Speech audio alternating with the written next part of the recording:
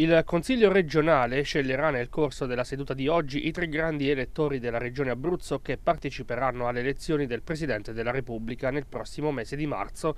Assise che dopo lo slittamento di qualche ora prenderà il via alle ore 15 per permettere uno screening a tappeto dopo le positività riscontrate nei consiglieri Montepara e Testa.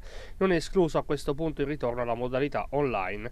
Tra le file della maggioranza di centrodestra in sella dal febbraio del 2019 la scelta ricadrà sul Presidente della Giunta regionale Marco Marsiglio di Fratelli d'Italia sul presidente dell'Assemblea regionale Lorenzo Sospiri di Forza Italia. Il terzo nome individuato in seno alle forze di opposizione è invece quello della capogruppo del Movimento 5 Stelle Sara Marcozzi.